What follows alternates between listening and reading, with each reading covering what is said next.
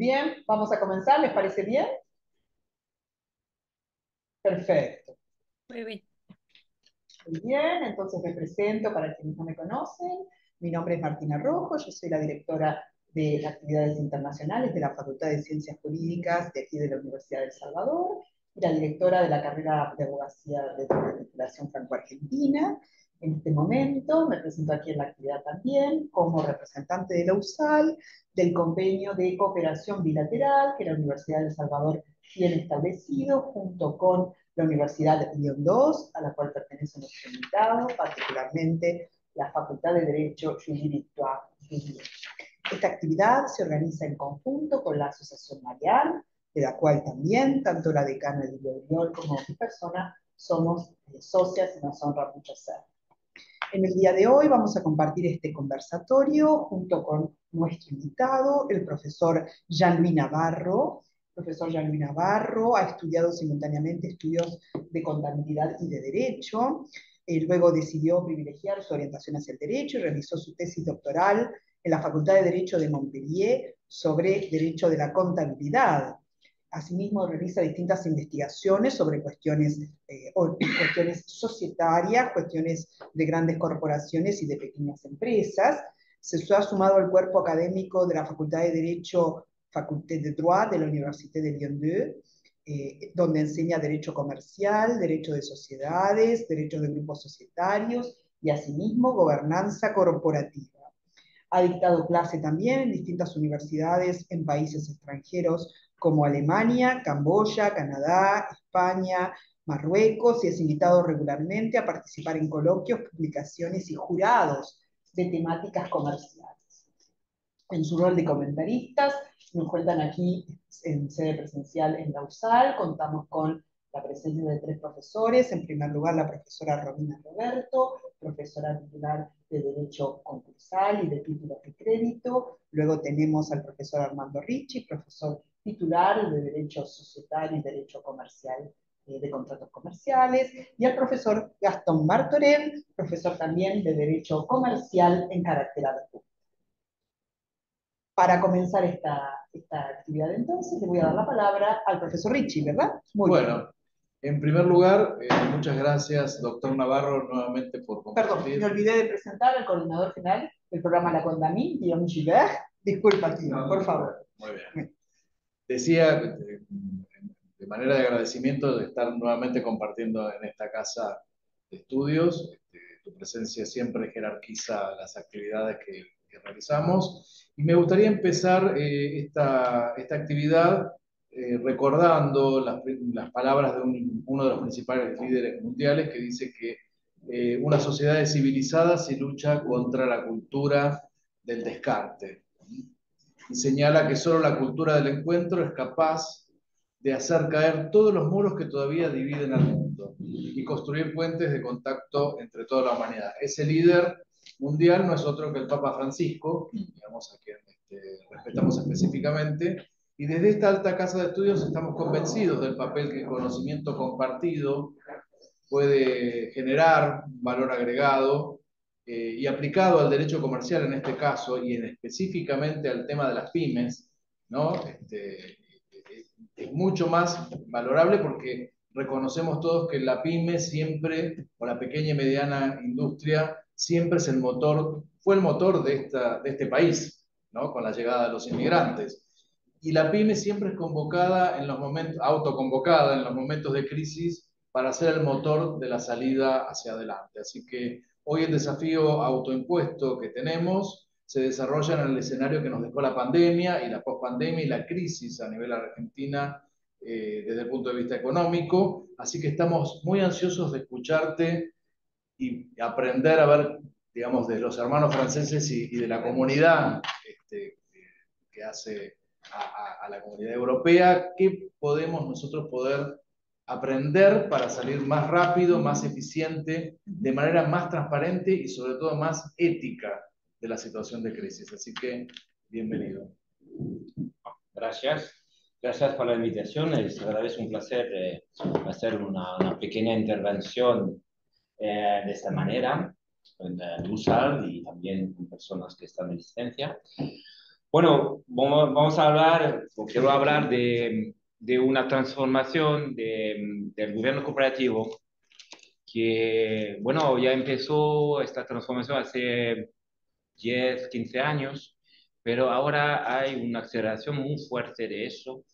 Y en la dirección de la ética, pero no solamente la ética, muchas cosas que ahora eh, son direcciones muy importantes de, para Francia, pero también para la Unión Europea. Bueno, el título de, de, mi intervención es la transformación del gobierno cooperativo y dos puntos, el efecto Gulliver. Ah. Por, por, eso ya sabes que yo pienso que es posible que ahora lo que manda Francia también, pero Europa me parece un poco fuerte y te da, pienso, una repercusión a nivel mundial. Vamos a hablar de eso después. Bueno, la, la, implicación de buenas prácticas en una empresa es, bueno, es una teoría económica inspirada en el legislador que ha tenido muchas modificaciones a través del, tiempo. En los, 20 años, en los últimos 20 años, esta teoría ha influido la mayoría de las reformas de la ley cooperativa en Francia y en muchos países del mundo, como bien lo sabemos, se trata de una teoría esencialmente angloamericana y también se ha traducido en la legislación estadounidense e inglesa. Bueno, hay muchos estudios sobre este tema que se han hecho en diversos países a nivel mundial. Es una teoría muy práctica con muchos textos que hablan de ella. Básicamente, el origen de esta teoría del gobierno cooperativo inició en Estados Unidos e Inglaterra, son, son los dos países eh, motores. Después vino Francia, adoptarla y empieza la, la, propagación poco a poco. Bueno, ahora todos los países del mundo han adaptado esta teoría, es un movimiento global. Por otro lado, vemos un cambio en esta teoría bajo la influencia de Europa y eh, especialmente de Francia. Primera cuestión, ¿por qué eh, su difusión viene de los Estados Unidos? Este punto es importante para entender la transformación que se opera ahora. El origen de los principios de gobierno cooperativo radica en los Estados Unidos. Posteriormente fueron exportados al Reino Unido este origen angloamericana se explica por la forma en que se, se financian las empresas. Esta financiación proviene principalmente de los mercados financieros. El mercado de valores tradicionalmente han desempeñado un papel importante en en la economía angloamericana. Es este origen el que justifica la aparición de los principios de gobierno cooperativo. Tres razones principales pueden ser presentadas. Primera razón, mecanismos de control débiles en, estos, en estos países. A fines de la década de 1908, 18, eh, instaló una cantidad importante de escándalos tanto en los Estados Unidos como en el Reino Unido. Además, enfrentados a un bajo rendimiento significativo por parte de las compañías, los inversionistas eh, cuestionaron la eficacia de la gerencia cooperativa que parecían estar dominados por líderes sin ningún control sobre sus acciones. Segunda razón, el cambio en la naturaleza de la participación accionaria. Esta puede ser la razón principal. Tradicionalmente y estructuralmente, la participación está ampliamente dispersa en el Reino Unido y los Estados Unidos. Está compuesto de pequeños accionistas, personas que tienen pocas acciones, al principio de los años 80 apareció un fenómeno de concentración iniciado por los fondos de pensiones estadounidenses. Estos nuevos accionistas han investido considerablemente sumas y, por lo tanto, se han convertido en titulares de participaciones significativas. En vista de su importante participación, su voto fue igual de importante. De este modo, pudieron imponer ciertos principios de buen gobierno para garantizar la, la de sus investigaciones. Tercera razón, la americanización de la economía. Para garantizar su desarrollo, las empresas deben investir en los diversos mercados financieros existentes. Inversión institucional es principalmente estadounidense. Es, él es global, por lo tanto, impone su nivel, su nivel de eficiencia en todos los mercados financieros. Por lo tanto, bajo la presión de los mercados financieros, los principios de gobierno cooperativo se de desarrollan primero en los Estados Unidos y el Reino Unido y luego se extendieron en, en particular en Francia. También este fenómeno aparece a nivel europeo, el fenómeno es global, americana latina se ve afectada también. Más allá de todo eso, lo que hay que señalar es que históricamente y tradicionalmente el gobierno cooperativo se interesa por las empresas cotizadas. Entonces, solo las grandes empresas y además cotizadas se ven afectadas por esta teoría. Esto aparece muy claramente en las obras americanas. Los primeros estudios datan de 1929, cuando la Bolsa de Nueva York se perdió e impulsó la economía al mundo.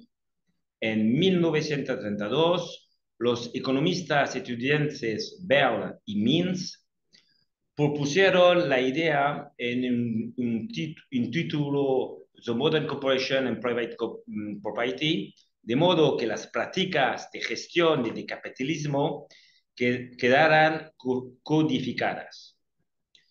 Si, realmente los preguntamos por los comentarios de una buena gobernanza, comenzamos a la década de 1960. Fue a este unos años que el debate se inició realmente por una falta de diversos libros sobre el papel de los consejos de administración de las empresas cotizadas. Uno de los uh, acontecimientos más importantes de este de debate fue la publicación en 1978 del uh, Corporate Directors Guidebook de la American Bar Association. También Podemos citar el libro elaborado en 1993 por el American Law Institute en cooperación con la American Bar Association, eh, titulado Principles of Corporate Governance, Analysis and Recommendations. Este libro está dirigido a empresas cotizadas. Lo mismo ocurrió si recurrimos a la ARGLO, la ley Sabanoxle de 2002 y la ley Dodd-Frank de 2010 están dirigidas a las empresas que cotizan en bolsa. En el Reino Unido, en 1991, el Financial Reporting Council formó un comité muy famoso presidido por Sir Adrian Cadbury, quien en 1992 publicó el reporte Cadbury sobre los aspectos financieros del gobierno cooperativo de las empresas cotizadas. Otros reportes se, se refieren también a las empresas cotizadas, el reporte Greenberry de 1995, el reporte Ample de 1998, el reporte Turnbull, el reporte X, Smith, Davis. El Código de Gobierno Cooperativo del Reino Unido, UK Corporate, Corporate Governance Code, también se aplica a las empresas que cotizan en bolsa. Las reflexiones sobre el gobierno cooperativo de origen angloamericana tuvieron una influencia directa en Francia en la forma y en la sustancia. También se lanzó una reflexión en Francia mediante la, redacción de varios reportes que también están dirigidos a empresas cotizadas. El reporte Vieno 1 de 1995 intituló Le Conseil d'administration des sociétés cotées, el Consejo de Administración de las Empresas Cotizadas, el reporte Vieno 2 de 1999, que completa el reporte Vieno 1, el reporte Bouton de 2002, intituló Pour une meilleure gouvernance des entreprises cotées, otra vez, empresas cotizadas. También podemos citar eh, varias leyes dirigidas a las empresas cotizadas, la ley del 15 de mayo de 2001, la ley del 1 de agosto de 2003, la ley del 27 de julio de 2005, la ley del 21 de agosto de 2007, etcétera, etcétera, hasta la ley del 22 de octubre de 2010. El Código de Gobierno Cooperativo francés también es dirigido a las empresas cotizadas. Por otro lado, hemos notado un cambio en los últimos años poco a poco, las normas de gobierno cooperativo se dirigen a las empresas que no cotizan en bolsa bajo la influencia de los principios de lo que se puede llamar la responsabilidad social cooperativa, que ahora se eh, identifica con el nombre, el nuevo nombre de la Unión Europea, sustentabilidad durabilité en francés. Este fenómeno es muy marcado en Francia y en Europa. El punto de inflexión de este cambio en Francia se eh, produjo hacia los años 2010. ¿Qué es la responsabilidad social cooperativa? Bueno, no hay de definición única. Se define, se define en el libro verde de la Unión Europea como la integración voluntaria de las preocupaciones sociales y ecológicas de las empresas en sus actividades comerciales y sus relaciones con todas las partes interesadas, internas y externas, para cumplir plenamente las obligaciones legales aplicables e investir en capital humano y el medio ambiente. La Comisión Europea define la responsabilidad eh, social cooperativa como la responsabilidad de las empresas frente a los eh, efectos que, tiene, que tienen en la sociedad. Para eh, asumir esta responsabilidad se debe iniciar un proceso en estrecha colaboración con las, las partes interesadas para integrar las preocupaciones sociales, ambientales, éticas, de derechos humanos y del consumidor en las actividades comerciales y en la estrategia comercial. Esta definición aún diferente observan puntos de convergencia. Se distingue un campo común de aplicación que es el respecto del medio ambiente y la consideración de los problemas sociales. Todas estas definiciones también incluyen una referencia a las partes interesadas. De nuevo, la definición de partes interesadas no es única. Sin embargo, hay um, consenso para definir las partes interesadas internas, accionistas, empleados y sus representantes, y las partes interesadas externas a la empresa, clientes, proveedores, consumidores, autoridades públicas, población afectada por la actividad, asociaciones de defensa del consumidor. Son ejemplos solamente. En resumen, el consenso eh, eh, en torno de la definición sugiere que la responsabilidad social cooperativa es la consideración de la empresa de dos objetivos principales, social y ambiental, y los principales medios de comunicación con lo que llaman las partes interesadas, internas y externas. Bueno, Francia es el precursor en términos de responsabilidad social cooperativa. Luego, la ley del 12 de julio de 2010 reforzó la obligación de publicación de información extrafinanciera de las empresas de dos maneras. Al imponer un reporte de responsabilidad social cooperativa, eh, este punto no es el más interesante, empleando, segundo punto, empleando el alcance del plano, extensión a todas las empresas de este reporte de responsabilidad social cooperativa, a todas las empresas cotizadas o no, con más de 500 empleados y 10 millones de euros de facturación de balance general. Menos se limita, ahora ya se ve que no se limita a las empresas cotizadas. exacto. La ley del 27 de, marzo de 2017 sobre el deber de, diligencia de las empresas matrice completa el sistema aplicable en Francia en materia de responsabilidad social cooperativa. De hecho, esta ley crea una obligación para las empresas cotizadas o no, con al menos 5.000 empleados en Francia, y al menos 10.000 empleados en todo el mundo para elaborar lo que llaman un plan de vigilancia. Este plan incluye, incluye medidas para identificar, identificar y prevenir riesgos de derechos humanos y libertad fundamentales, daños corporales o ambiental grave y riesgos para la salud resultantes de las actividades de la compañía y de sus subsidiarios.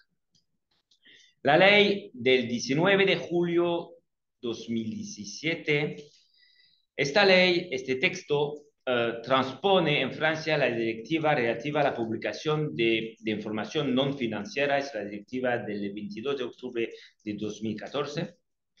Las empresas que no cotizan en bolsa se ven afectadas, se, eh, las empresas que cotizan también, ¿eh? pero las empresas que no cotizan en bolsa se ven afectadas si superan los siguientes umbrales. 10 millones de euros para el total de balance o el volumen de negociación de negocio neto y 500 para el, número medio de empleados eh, permanentes.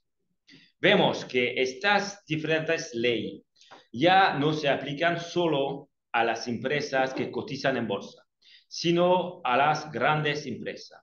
Se trata de un cambio real porque provoca un cambio en el alcance de determinados aspectos del gobierno cooperativo que ya no se aplican únicamente a las empresas cotizadas.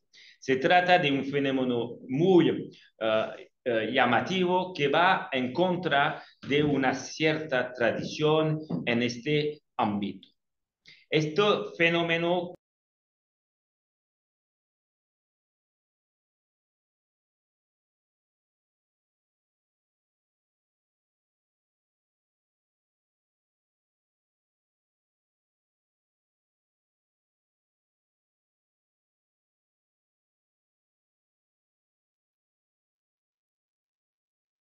establece nuevas obligaciones para la información extrafinanciera. El objetivo de esta directiva es fomentar el desarrollo sostenible en las empresas e identificar aquellas que sean disciplinadas en estos ámbitos, en este ámbito. La información eh, recopilada permitirá evaluar mejor el impacto de las empresas y sus actividades en el medio ambiente. Es una continuación de la directiva sobre la publicación de información no, no financiera de 2014 y tiene como objetivo armonizar la información extrafinanciera de las empresas europeas. A partir del 1 de enero 2025, un año queda, menos de un año, se verá afectadas las empresas cotizadas o no cotizadas que cumplen dos de los siguientes criterios, más bajamos en los criterios, más de 250 empleados, más de 50 millones de euros de facturación, más de 25 millones de de balance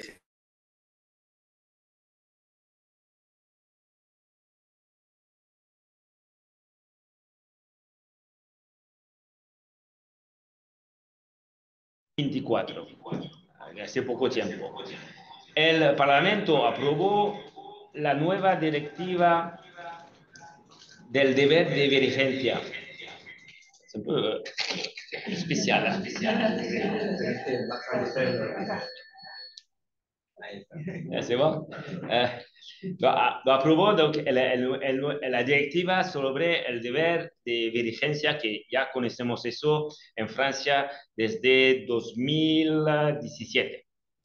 Ya tenemos la misma cosa al nivel, al nivel europeo.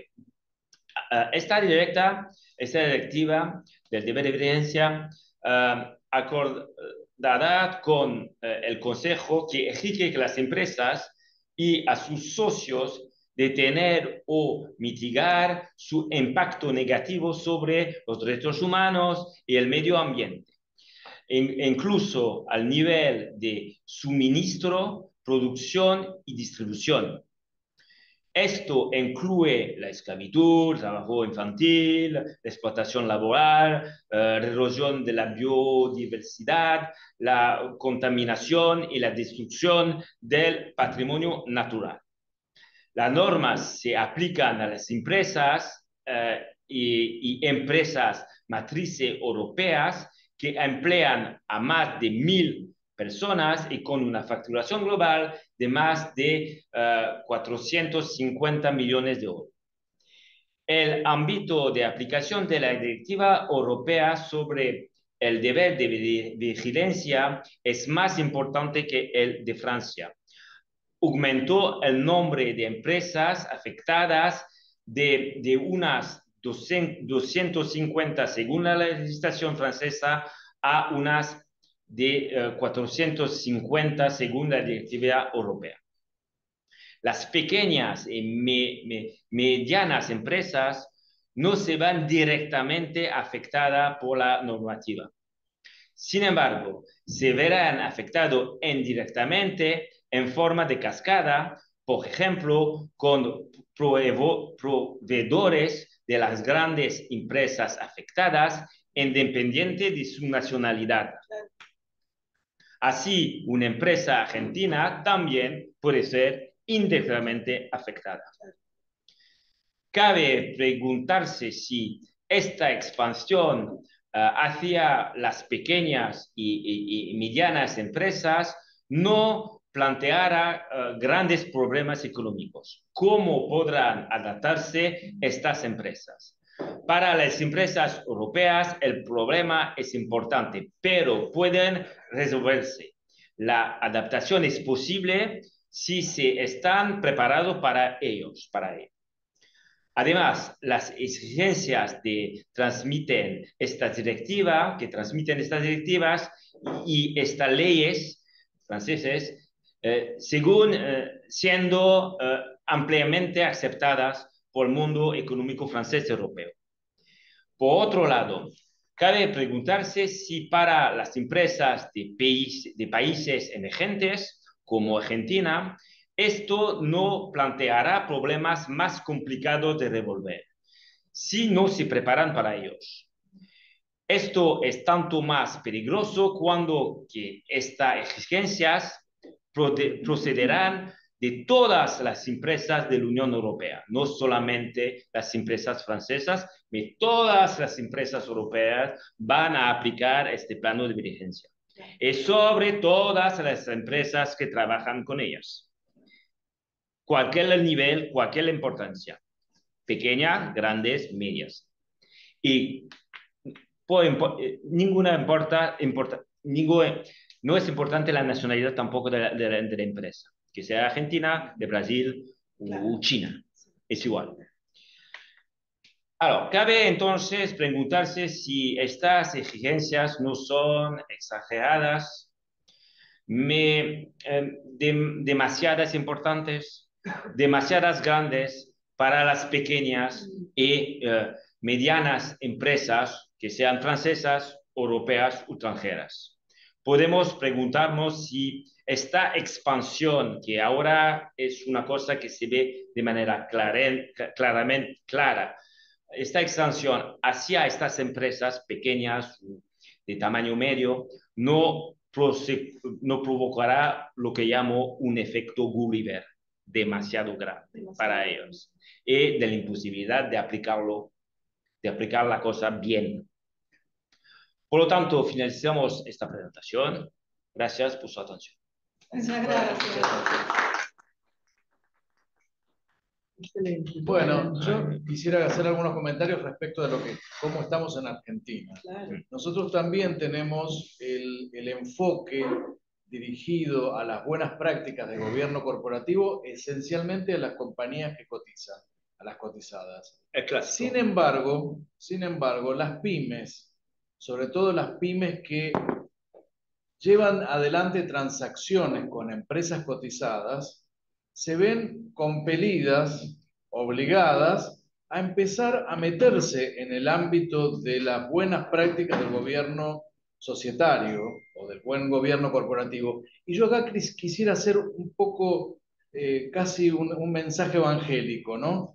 Digamos, no nos quedemos con las organizaciones eh, empresariales, sumemos a las fundaciones, a las asociaciones, porque los que trabajamos con las buenas prácticas en gobierno, de las organizaciones, ahora lo hago mucho más amplio, nos ha permitido salir de atolladeros y de situaciones a través de dos herramientas fundamentales que traen las prácticas de buen gobierno corporativo. La transparencia y la ética. Y el acogimiento a la normativa, a la reglamentación. Si a eso le sumamos la, desde el punto de vista del derecho eh, aplicado a las empresas, ¿no? Eh, la gestión basada en riesgos termina de ser un círculo virtuoso. Si yo gestiono mi organización, sea empresa, fundación, asociación, con un mapa mental basado en los riesgos, que siempre son cambiantes, hay algunos que son básicos y propios de cada organización, pero si lo hago a nivel, eh, digamos, eh, ampliado, eh, es mucho más eficiente y termina siendo una cadena virtuosa. Por supuesto que el efecto Gulliver es el no querido y es el que mm, el primero que recibimos cuando nos sentamos frente al empresario, dueño de una pequeña o mediana empresa y que nos dice, esto me encarece la operatoria. ¿Por qué? Porque necesito de abogados, necesito de, sobre todo necesito de capacitación. Hay que capacitar al empresario, al, al miembro del consejo de una asociación civil o de una fundación, pero también hay que capacitar a los jueces, que tienen una mirada anticuada, por decirlo de alguna manera, y en ese sentido el mundo del compliance también viene a dar una nueva, eh, un nuevo aire. Es decir, es una nueva forma de hacer negocios de manera ética. Eso es revolucionario. Sí. ¿no? Entonces, me parece. Es casi un nuevo capitalismo. Es un nuevo capitalismo. Otra manera de hacer el capitalismo. Pero lo que pasa ahora con las dos directivas que van a ser después leyes franceses o ley alemana, que todas las leyes de, de países de Europa va a tener la misma ley casi. Eh, que hay una verificación, la empresa francesa, alemana o española debe hacer una verificación de la manera do la, su, toda la cadena de, de comercio funciona hasta el final. La trazabilidad. No, más que ver si yo trabajo con una empresa que fabrica, no sé, una cosa y que en esta empresa que está en China hay niños que trabajan. yo no puedo, yo soy empresa alemana, no puedo trabajar con ella. Exacto. Tengo una empresa que hace mucha polución, que no sé, hace cosas que no se debe hacer, no debe trabajar con ella. Es que es una cosa, debe verificar lo que hacen todos los partenarios de la empresa, sobre todo la cadena. Y, esta verificación va a acabar que hay empresas que no pueden seguir. Exactamente. Y si no puedes participar, la empresa, yo soy Carrefour, no voy a trabajar contigo. Claro. Voy a trabajar con otra empresa porque ella, bueno, paga bien los campesinos, bueno, eh, eh, todos los, los, La los cadena. riesgos, toda la cadena Claro. respecta lo que la Unión Europea considera como lo más importante. Eso se puede discutir también. ¿eh? Sí, decir eso. Eso, puede discutir también. ¿eh? Lo que ellos consideran que se debe respetar. Claro. Y si no lo respecta, no trabaja contigo. Además, eso a mí, bueno, es una cosa que un poco especial, sé que es casi, no sé, una colonización. Puedes decirte lo que debes hacer. claro. Si tienes, Sí, quieres sí, trabajar sí. conmigo, Eh, si eres una empresa americana o estadounidense o de, de Canadá, es igual, ¿eh? Me, ellos pueden, porque tienen facultades, no sé, hay un personal, no sé, una cultura sobre eso. Mi países que no tienen esta cultura, uh, muy joven como cultura, es más difícil. Claro. Y voy a decir a, lo- a Argentina lo que debe hacer en el ambiental. Eso no se puede hacer. Dices, ok, si lo haces, no trabajo contigo. Claro. Y si tú eres, eh, a- a- hablamos no de una empresa francesa, hablamos de todas las empresas de la Unión Europea. Eh, no es el mismo nivel de, de influencia, no es el mismo nivel que, que una empresa francesa. Ahí tenés una empresa, empresa alemana, española, italiana, que va a decir la misma cosa, y va a hacer la misma cosa y tendrá la misma reacción. Y eh, eso para mí es, Es es, de nivel, ¿eh? no, no es igual. Y ahora, y, y además que, que, que esta obligación, bueno, bueno, se, precisamente es empresas cotizadas, ¿eh? que, bueno, me baja, baja a, a- a- 250 a- a empleados, no es una, no es una gran empresa, ¿eh? Claro. es un medio, medio Sí. tamaño. Ellas también deberán hacer eso. Y eso influye también en cascada sobre todas las empresas. Es, es, es- yo pienso que es una cosa que, bueno, ah, empezará el 1 de enero de 2025, no pienso en cara, pero eso cambiará mucho la manera de trabajar. Y ahora esta influencia va a cambiar también la manera de hacer el business. Claro. Totalmente, porque lo que se ha complejizado es eh, el cuerpo normativo. Ha cambiado desde el punto de vista del derecho societario. Antes, el directorio trabajaba para generar la mayor cantidad de rentabilidad a los accionistas. Pero con la aparición de la conciencia de la responsabilidad social corporativa o responsabilidad social empresaria, ¿Mm? la empresa se considera responsable porque está inserta en una comunidad de la cual se nutre para llevar adelante sus negocios. Sí, sí, sí. Entonces, en ese sentido, eh, eh, digamos, se nutre de gente que no formó. La formó el Estado, los particulares. Bueno, contra ese beneficio asume una responsabilidad que tiene que ver con, con las dos cosas, ¿no? La parte social y la parte ambiental. Son los dos. Vos mencionaste el concepto de sostenibilidad, que es una evolución de la sustentabilidad, porque Sí, antes alcanzaba con ser sustentable, ahora tenemos que ser sostenibles. Y si a eso le sumamos el tema del lavado de dinero, esto que acabas de, comentar, empezó en los 60 con el principio conozca a su cliente. Mm. Bueno, ahora es conozca a su cliente, de dónde viene el dinero que Sí. está aportando, tiene a sus empleados, eh, digamos, este, como decimos aquí en la Argentina, en blanco, o sea, regularizados. Es muy complicado. De eso no escapa la pyme, ¿eh? o la pequeña industria. Yo puedo hacer una acotación. Por supuesto. Con mucho gusto, Jorge Ortiz, docente acá en la facultad. Eh, yo me dedico a Derecho de la Competencia, ahora continuamos.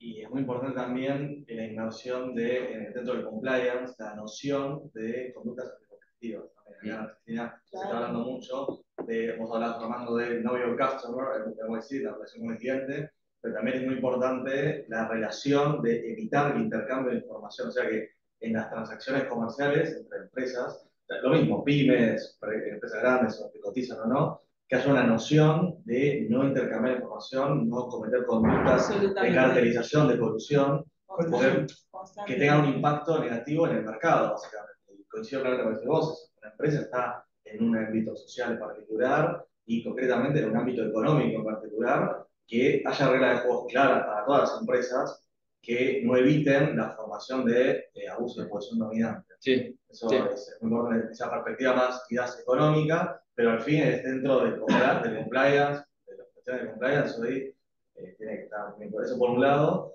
Y otra acotación, vos hablabas de la cooperación con la Unión Europea, de las normas.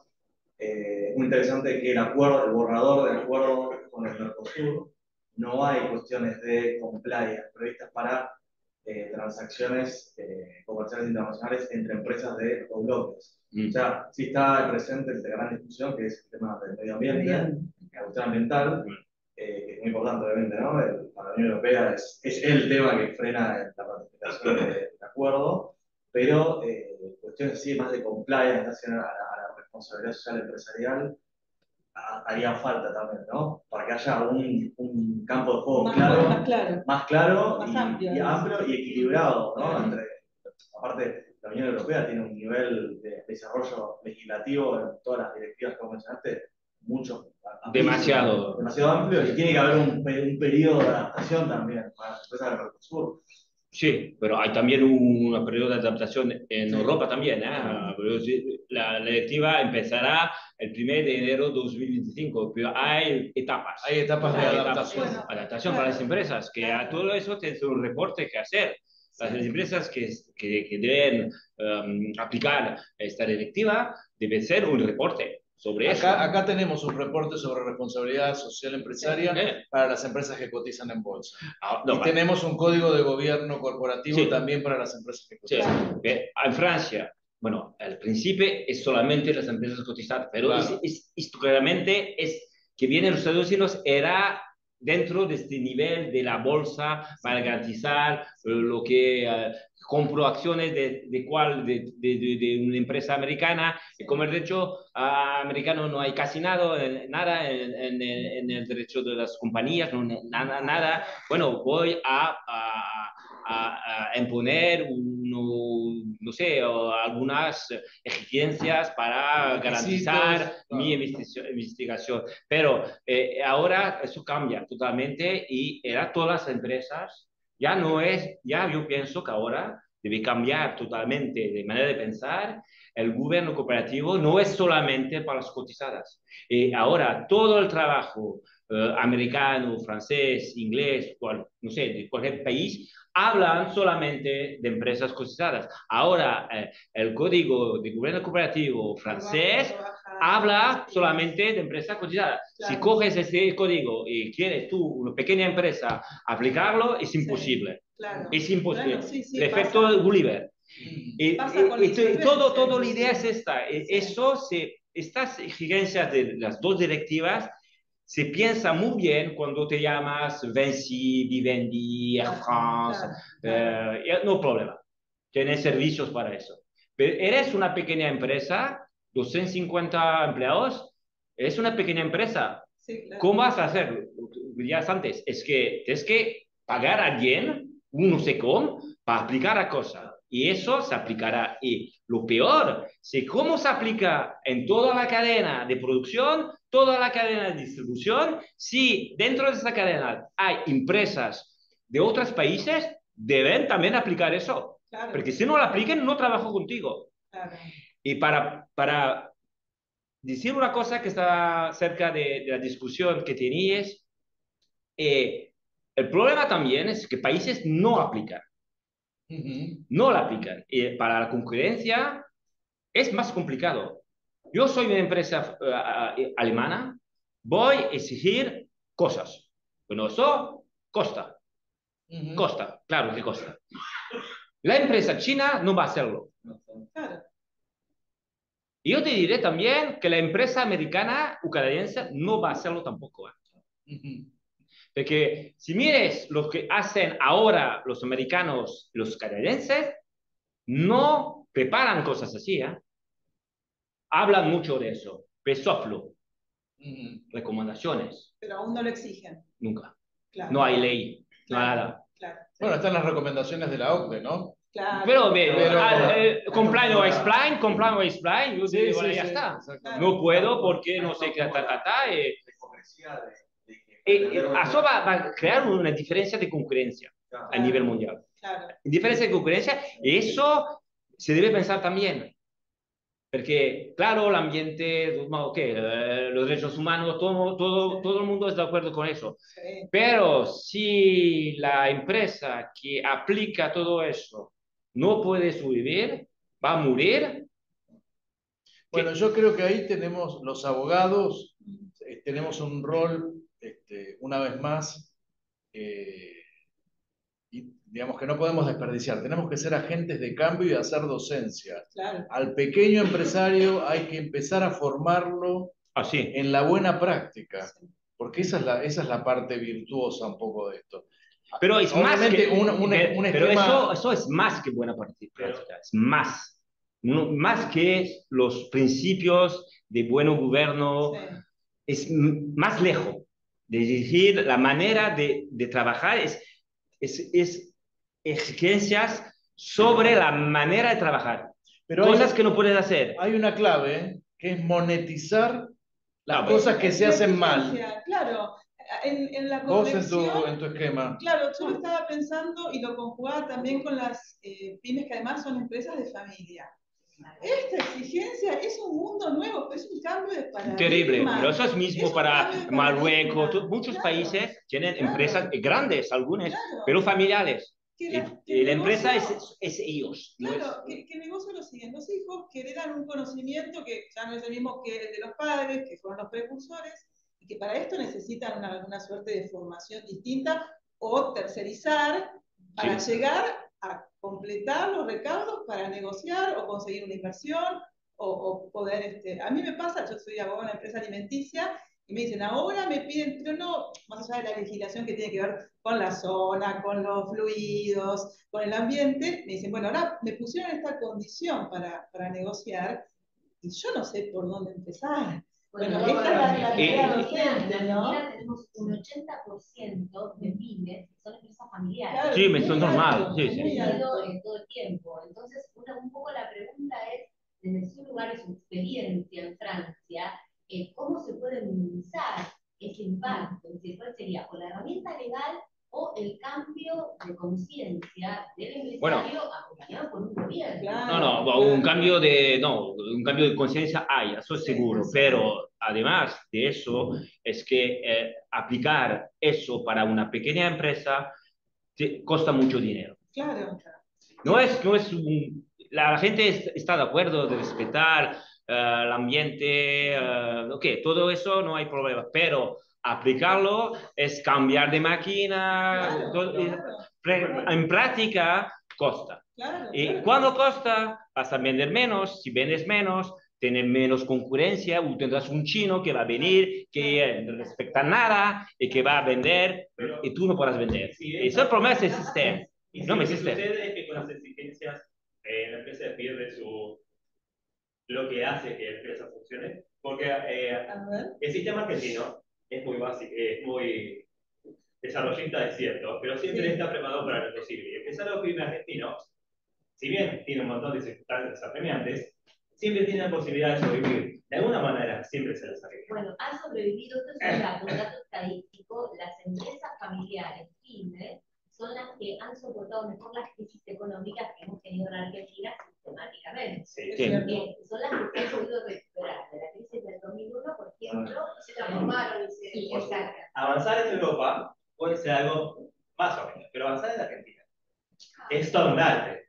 Claro. Entonces, debe haber un equilibrio entre las cuestiones que, a- que Francia, cualquier país necesita, y no perder la base que hace que Argentina sea Argentina. Porque el año pasado, cuando la Unión Empresarial de, de- de Europa y Argentina, y se hizo en el Importe Madero, dijeron claramente que lo que adoran a Argentina es la capacidad para resolver problemas imposibles. Y sí, es cierto, Y es algo- Claro, Que solo se enseña bajo este medio ambiente.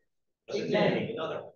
claro, claro. Entonces, si nosotros modificamos nuestras maneras para poder ingresar a otro, a otro mercado y perdemos esa habilidad que es buscada acá exclusivamente por eso, tiene que haber un equilibrio entre ambas cosas. Sí, que es lo que mencionaba él, es la forma nueva de trabajo. Por ejemplo, los Claro. abogados no exploramos campos, eh, por ejemplo, ramas, por ejemplo, en Alemania tienen derecho hidrológico, acá no hay.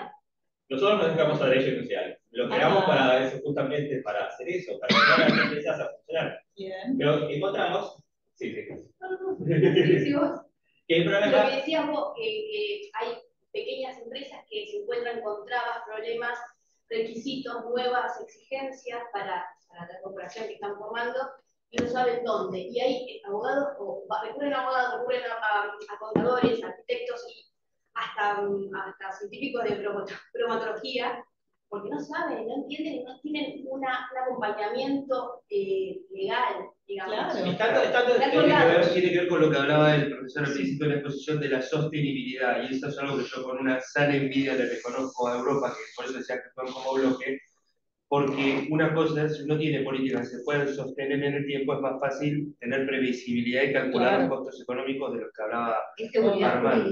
Claro. Sí. Pero acá nosotros lamentablemente hemos tenido en los últimos, diría 20, 30 años, que cambia un gobierno y cambian totalmente las reglas del juego, Sí. incluso a veces dentro de un mismo gobierno. Entonces, O, o incluso quedamos muy estancados en algo que no se progresó, en Claro, un campo de... nos cuesta encontrar el eje y yo agregaría algo más a lo que dijo el, el profesor respecto de, de la ética empresarial y Armando lo agregó respecto de los jueces, yo incluiría a la clase dirigente, a la clase política que tiene que tratar estos temas, las leyes anti- de competencia que ha mencionado acá el colega, ¿por qué? Porque mientras no podamos de alguna manera darle señales al resto del mundo, principalmente a, a Europa y a Estados Unidos, de que somos confiables a nivel eh, ético, moral, digamos, que es lo que lleva, si, si hay, está bien desarrollada la política de compliance, está bien desarrollada la política de buenas prácticas y gobernanza, eso va a traer aparejado los beneficios económicos, pero los resultados de, de la aplicación de esos proyectos llevan su tiempo, de ahí que el doctor hablaba del, del periodo de adaptación.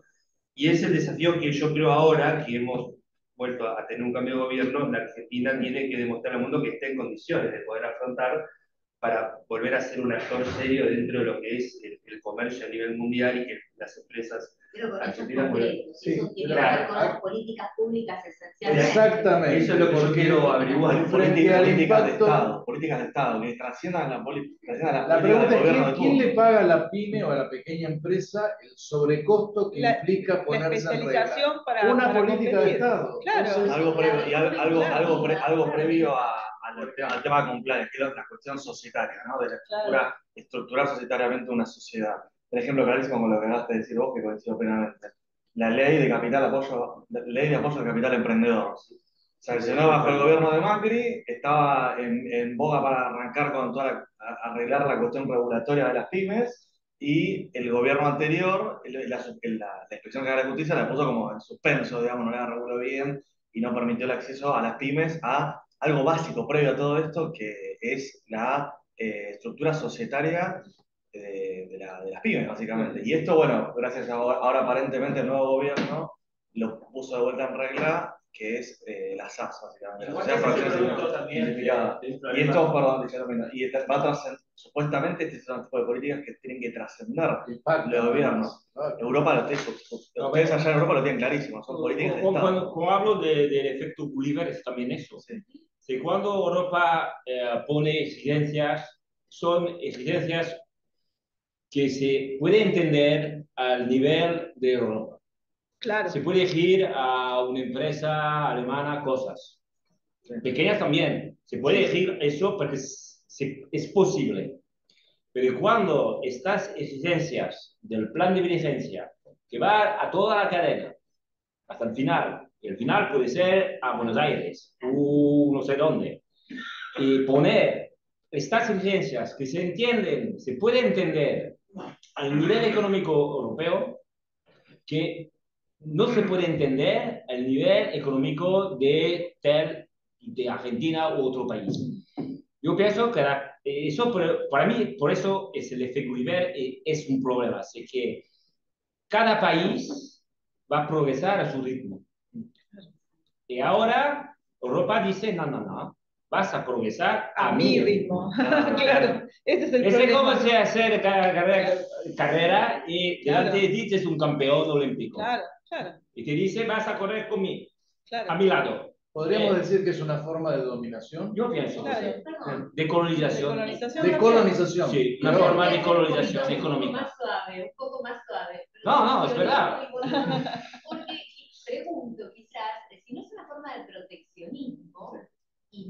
Tan mal visto, aunque claramente nos molestaría. Pero quizás no es una dominación, o sí, no sé, pero bueno, quiero tener un poco más de buena fe y pensar que es un proteccionismo. Entonces ahí le pregunto al profesor. No, por eso no pienso que no. de- no, yo pienso, no, es muy radical, yo pienso es una manera de colonizar, Ajá.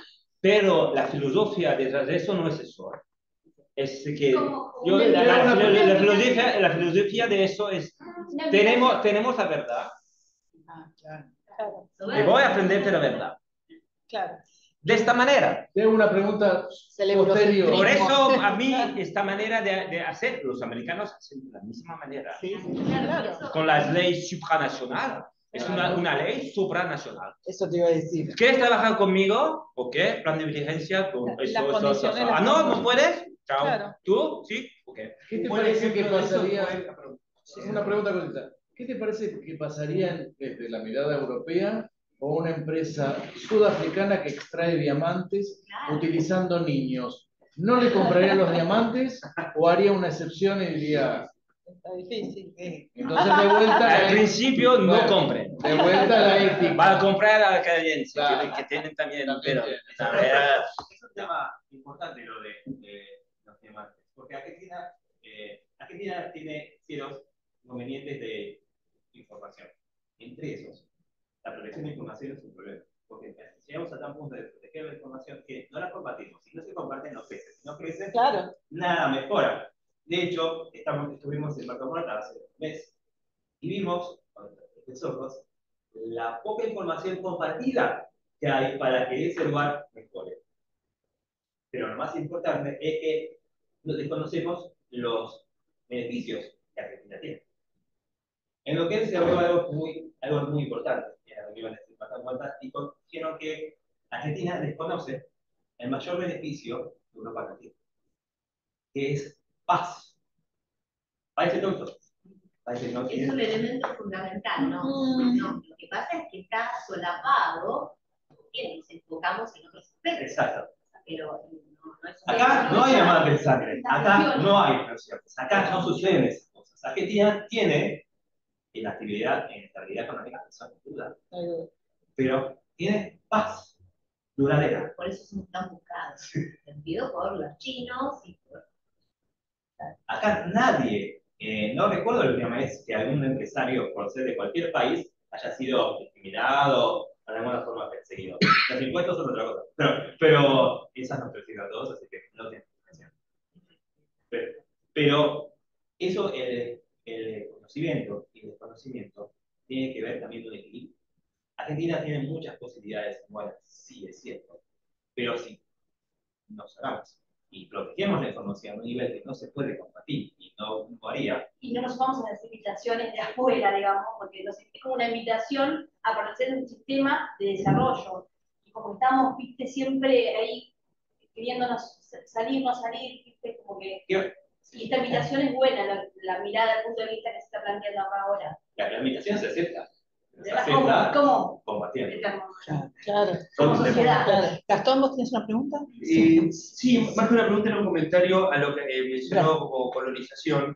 Me viene ahora a la mente el ejemplo cuando hubo que hacer el, el rescate de Grecia económico, que Grecia estaba en serios problemas, que las primeras naciones que no estaban de acuerdo eran Francia y Alemania, casualmente en aquel momento las más poderosas de Europa, y la Unión Europea como que los, los puso en eje y dijo, miren, esto hay que hacerlo porque es una nación perteneciente al bloque y tenemos que asistirla. Es decir, la Unión sí puso sobre el interés particular de cada una de las naciones que tuvieron que hacerle la ayuda económica a Grecia, más allá de ya, crecimientos no hablo, pero, eh, pero fue un buen ejemplo de decir la conducta para proteger la unidad del bloque y, y el cooperativismo, bueno, lo siento, pero que no estén de acuerdo van a tener que ayudar. Fue, eh, me parece que tiene que ver un poco ese- que, que es lo que a mí me gustaría que ocurriera acá en, en Sudamérica con, con el tema del Mercosur.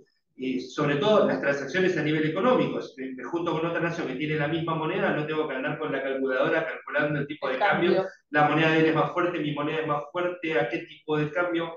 Eh, hay ciertas cuestiones que acá eh, no las tenemos, que bueno, que si las pudiéramos conseguir, yo creo que ayudarían al comercio no solo para que mejore Argentina, sino el, el bloque del Mercosur entero. Seguro. Pero me parece que, como dijo él, el Mercosur es algo bastante nuevo y bueno, falta trabajar en ese aspecto. No, además, una cosa importante, eh, la Unión Europea no es la adición de Francia más Alemania. Más... La Europea tiene su propia voluntad. Es una supranacional.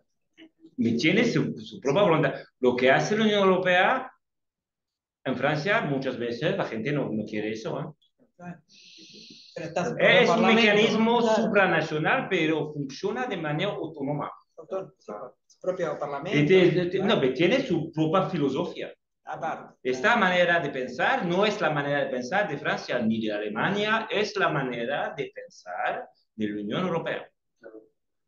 Y hay una, eh, ahora los problemas políticos que tenemos en Francia es también Sí. Consecuencia. pues, consciente de De eso. eso, de eso que la gente, eh, que lo- cuando esta manera de decir que vamos a, a imponer a cual, cual, eh, empresa esta exigencia, el nuevo reporte, de, todo eso. Hay muchas empresas francesas que no quieren eso. ¿eh? No quieren eso. Y la manera de pensar, la manera de actuar, de decir la cadena, si no si no respetes, no voy a trabajar contigo, es la manera de pensar de la Unión Europea.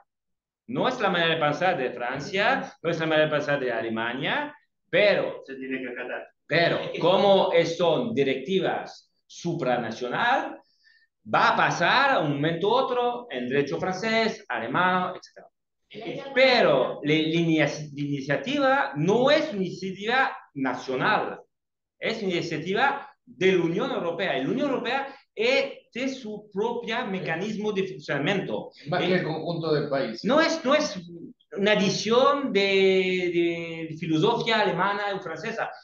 Tiene su propia filosofía. Por eso la comparación Mercosur y Unión Europea no es buena. Porque el Mercosur es más una adición de Argentina, Brasil, etc. Que son países, pero cada uno independiente. No hay una filosofía Mercosur. Hay una filosofía un Unión Europea. y se critica mucho. Se critica mucho la filosofía de la Unión Europa Europea. igual también pasó por el, por el estado de que está Mercosur y cuando arrancó la Unión Europea no es, no es lo que es hoy. Además, Señor- Perdón, disculpame, todo porque doy clase de este tema. Me llevaron a, a mi materia. Y con la Unión Europea cuando empezó también pasó por el estado en el que está Mercosur actualmente. Sí. Arrancó así, o sea, son procesos, digamos, como más de una adolescencia. Sí, una- No, yo, yo no sé, no, no pienso que, no pienso que el Mercosur va a decidir que, que va a cambiar una ley de no sé qué, Para que va a nada, decir para después. nada, para nada. Bueno, Es- eh, no, no, proceso- es un la proceso- Unión Europea sí, sí, sí. Es un proceso, es una, una unión aduanera imperfecta, pero unión aduanera nada más. nada más. Nada más. No, es un mercado, no, No, es un mercado No, común. no, no, Unión Europea no es solamente un mercado común, ¿eh? es también una manera de pensar. Unión económica y monetaria. Eh, No es, no, no es solamente económico, Filosófico. hay una Político, filosofía Político. Política. Aprovecho y te pregun- te- le pregunto algo eh, con respecto a, usted mencionó el tema de la cuestión política actual. Sin, por supuesto, estamos en la Facultad de Ciencias Jurídicas, no vamos a entrar en política, ni mucho menos, y menos con política de, de su país. Pero, eh, ¿cuál- ¿qué opina con respecto a la discusión eh, legislativa actual que está en, boga con respecto al tema puntualmente de pymes? ¿Cuál es la postura de cada uno de los, de los grandes bloques legislativos que se formarían y qué pasaría en caso de una cohabitación con respecto al tema pymes, nada más, en, el- en la economía francesa. No, no hay nada especial. No, no hablan de están eso. hablando de las Ah, pymes. no, no, no hablan de eso. eso le quería preguntar. No hablan de ¿Cuál eso. era la reacción frente a estas directivas que evidentemente van a perjudicar a pequeñas empresas, en toda esa cadena y ese efecto? En cascada también, como se decía. ¿Y hay alguna reacción de parte de, de los empresarios? Sí. ¿Hacen lobby a eso? Sí, sí, que no quieren eso. Ajá. No quieren eso. La ley de, de, del nuevo reporte de durabilidad Ujú. faltaba poco que no pasaba. La directiva. La Francia estaba contra, no quería. Y los, los eh, representantes de las empresas no querían eso. Y la Alemania tampoco. Porque hace el partido político. No querían no, este nuevo reporte de sustentabilidad. No, no, no querían ese reporte. Y querían que el nivel de las empresas afectadas por la directiva sea más alto. Mil empleados, nada, ahora es 250. Claro. Eh, eh, eh, y hay una verdadera resistencia de algunos países, Francia y Alemania principalmente, que no querían eso. Bueno, hubo una negociación y al final pasa. Pero hay una resistencia contra eso y las empresas no quieren eso. Claro que no quieren quieren eso. Es un costo. claro. Costa. Y pregunta, Y ese Ahora, económicamente es difícil para todos, ¿eh? para toda Europa, China, China no sé, pero Europa o América del Norte es difícil y eso costa. Y es un costo que le puede, se- le, le puede impactar a nivel judicial, porque es una prueba, y le va a impactar a nivel de seguros. ¿Sí? Si yo tengo que mostrar que tengo determinado grado Eh, de sostenibilidad, Otro impacto, la no- reputación, reputación el naming shame. Eso, Ujú. eh, lo más peligroso es eso. Las empresas como Total, lo- lo- lo- lo- el miedo que tienen es que tienes un periodista que va a ver, eh, en no sé dónde, cuál país en África, la polución que hace Total. Hace un reportaje sobre eso, pasa a la tele, una catástrofe. Claro. El, lo miedo es esto. Por eso vi- vigilan que no hay problema. El plan de diligencia es una formalización de, de, de las prácticas. Ahora es obligatorio de, de, mostrar lo que haces para prevenir los riesgos de pulsión, no sé qué. Bueno, tienes que mostrarlo, pero lo hacen ya porque tienen miedo de la reputación. Y este plan de vigilancia implica una certificación, la Sí, posibilidad de un control. a una certificación. Sí, hay un control. Vous avez un OTI, un organisme, un organisme tiers indépendant ou le, le commissaire au compte, auditorio. Auditor. C'est posible que haya una certificación, pero, pero también, ¿certificación de qué? ¿Cómo Claro. se puede certificar? ¿Y quién firma? ¿Cómo? No, él va a firmar. Va a decir, yo pienso que, bueno, las informaciones que están dentro del reporte son de verdad.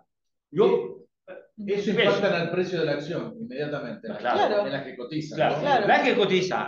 Además, ahora va a bajar a las empresas que no cotizan. Pero ellos Bueno, también tienen un, problema de, no, tienen un problema de reputación. Si la gente dice esta empresa que es pequeña, no, no cotiza- cotizada, pero la gente sabe que esta empresa, no sé, hace pul- no sé, polución, no, sé, no respeta los derechos O la humanos, de carbono. o no sé qué, trabajan con una empresa que, que dentro de esa empresa hay niños que trabajan. La reputación también costa. Un tema muy importante con esto, la- las certificaciones que mencionaban, Sí. eh, en los procesos de due diligence, se comprueba esta empresa, muy importante porque vos mencionabas la evaluación en materia de empresas que cotizan en el mercado Sí. financiero. Sí. Pero empresas que no cotizan, eh, el valor en sí, se- se- hay una evaluación detrás del de due diligence, de decir, bueno, eh. ¿qué comprende? Bueno, no vamos a contar en lo societario, bueno, pero también vamos a temas que hacen al medio ambiente, Claro. al compliance, a la ¿Mm? anticorrupción, lavado de dinero. Eso. Y todo esto, todo esto polución, claro, eh, contaminación, la gente en español, que, que, que estos certificados, estas certificaciones hacen un valor a la compañía Claro, fuera, claro. fuera de la bolsa. de- Claro. No, Hacen mejor vamos a competitiva, investidores exteriores que quieren investir en la Claro, empresa, claro. van a mirar lo- lo- los investidores socialmente responsables, no sé Sí, si- responsabilidad Sí, social. sí, no, sí, sí. los- vea, hay corporativas. que invisten solamente a, a mirar la, la manera donde trabaja la empresa al nivel de la responsabilidad social. Claro. Y miren eso. Totalmente. Y voy a- a- eh, no son empresas cotizadas, son empresas normales. Es que el- Eh, por eso eh, ahora la, la imagen de la empresa debe ser una imagen de responsabilidad social. transparencia. Y todo, transparencia, todo, todo, ética, todo, todo. Cuando digo respo- responsabilidad social es al nivel general. general. De hecho, en los que trabajamos con temas de compraventa de empresas, el, el- el listado de due diligence Mm. ahora se incorporó Claro. el due diligence de los proveedores Mm. para ver con qué tipo de proveedores vos te servís Claro, está. de productos. Sí, eso es. Claro. incorporado. Además, Claro. Compliance Claro. el Claro, porque lo clásico, todo, lo clásico antes es que Era un, un M&A se ¿Cuántos podía- tenés? claro, laboral, fiscal y un, y un, Tal y un cual. M&A se te podía caer, por, ¿cuántos claro, se te podía caer con un tema laboral, pero ahora se puede caer un M&A por cuánto incumpliste con tus políticas de Sí, compliance. O porque Sí. contaminaste. O por por- contaminaste. Afecta el precio de venta final de la acción. Exacto, Sí. Sí, sí, Sí, sí, Y si Argentina tuviera su propio sello, eh, sé que Argentina le hace falta de, de la habitación, que es el sello mental, porque básicamente Europa lo tiene, Alemania lo tiene en el 73, así que es, es obviamente algo muy importante. Argentina creara su propio sello, su propia certificación. Obviamente me gustaría trabajo, claro, pero formamos que lo. Ayudaría a que esa certificación, eh, no sé, tuviera, si Argentina ya tiene su sello, ya va por un buen camino, más allá de pasar por toda esa intensa prueba de, ser aprobado. Si nosotros, bajo nuestros conceptos, bajo nuestros términos, creamos un sello argentino, ambiental, amigable, toda la... ¿Qué, qué, qué posición tomaría eh, Francia? Es decir, la Secretaría tiene un buen camino, eh, cuenta que la Unión Europea. La Unión Europea, la Unión Europea también. Sí. Y, y, por, último, eh, solo un comentario, eh, Europa lleva organizándose por mucho tiempo, en realidad. Desde el soberanía alemán en 1800 y algo, ese es el básico, punto básico de todas esas uniones entre naciones. Y si bien Europa lo logró con muchísimo éxito, Europa viene uniéndose bajo una misma bandera, modernización, desde hace por lo menos 300 o 400 años. Eh, diferentes civilizaciones, diferentes seguridad, pero desde los romanos, Europa siempre ha tenido la idea global. Argentina. Argentina tiene. Argentina Quiero recordar las dos guerras mundiales. Sí. No, no. Argentina, Argentina tiene ciento. Como mucho. Nunca nos llevamos bien con las sociedades latinoamericanas. Y hayamos creado. No, sí, sí, sí. mucho, ¿eh? Que hayamos creado el Mercosur para poder avanzar es una base, cierto. No llegamos a ser la Comunidad Económica Europea. Pero es una base grande para una muy pobre. È muy pobre, Silca, eh, está pobre, pobre. Joven. Joven, sí. Bueno, estamos medio ya sobre el tiempo, estamos sobre el tiempo también de las personas online, así que yo quería darle primero la palabra a la doctora Roberto, si quiere hacer alguna conclusión, luego al profesor Armando Ricci también si quiere hacer alguna conclusión, y así podemos también eh, cumplir los tiempos que habíamos previsto con la Asociación María. Doctora Roberto. Bueno, muchas gracias, doctor. Creo que todos estamos de acuerdo que desde el comentario del doctor de Europa a implementarlo en Argentina tendría que sostenerse en el tiempo entre las prerrogativas o algún tipo de ayuda a las pequeñas y medianas empresas para que puedan competir, porque en definitiva la traducción de esto es que sean competitivas y puedan negociar y puedan crecer y tienen todo el derecho, probablemente sea una asistencia para cumplir con los recaudos de sostenibilidad, porque si no, no, no, no podrían, yo creo, por ser abogada de empresas pymes, que no podrían siquiera comenzar a, a inmiscuirse en este tipo de negocios, que ya se exige la sostenibilidad. Entonces me parece que en esto nos debemos nosotros, de este lado, una vuelta de, de rosca para empezar a pensar en las premisas que nos acercaste, nos acercó usted. Muchas gracias. No, bueno, yo agradezco nuevamente la participación. Creo que sobrevoló todo el tiempo la figura del Estado, de un Sí. Estado presente, sano, Sí. con políticas públicas, algo que esté por el transparente, algo que esté por encima de los intereses de todas las partes. Recién hablaban de una certificación argentina. Creo que una certificación argentina tiene que primero apuntar a ver qué es lo que nos van a pedir ustedes Claro. desde Europa, ¿no? Para poder construirla, porque si no queda en un acto narcisista, por decirlo de alguna manera. Así que me parece que el, el rol del Estado es importante. Dentro de la comunidad económica, Francia es la maestra dentro de lo que es el derecho administrativo, por lo menos cuando Sí, hemos sí. estudiado derecho administrativo, Sí, sí, sí, este, sí, sí. la escuela francesa es, un- es una luz, en, digamos, en el camino. Así que, bueno, muchas gracias nuevamente. Estamos, este, yo creo que yo soy optimista, naturalmente optimista. Creo que Debemos serlo. ¿no? debemos serlo y creo que los abogados somos agentes de cambio y hay que, hay que capacitar, cuando uno brinda el servicio jurídico, capacitar al eh, empresario al- y más sobre todo al pequeño empresario, ¿no? que va a estar siempre más proclive que el grande, digamos, porque al grande le entra por la fuerza Claro. la, la- la obligación. Así Claro. que, bueno, muchas gracias. Muchas gracias. Nos quedamos con ganas de-